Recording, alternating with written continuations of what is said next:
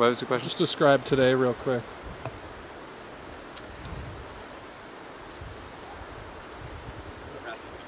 oh, rafting. Yeah, it was rafting, yeah. Rafting and duck wars. Some beer.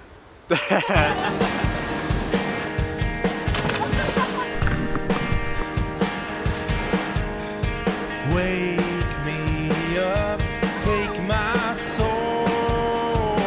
We're here with the Columbia OmniTen rafting the Rogue River here in uh, Oregon, and it's amazing. I am currently trying stuff. This whole rafting thing is what I'm trying. I have never been rafting before. This has been kind of awesome. This is a group of people that they've brought together to bring out here in real life and test stuff.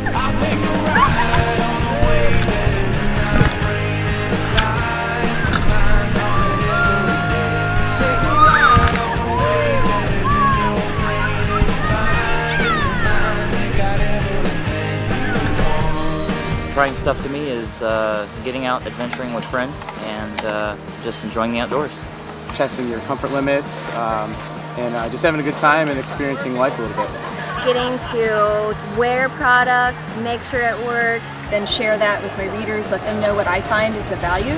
Not just trying new gear, but getting out and trying things that you've never done before. A detour, or go in another direction, or do something that you just haven't before, no matter how small. More of a lifestyle than anything else. It's the, you know expanding your horizons a little bit.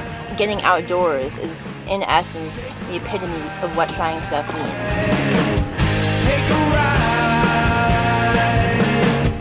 Take a ride.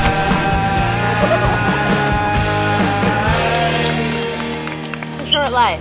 Let's try stuff together.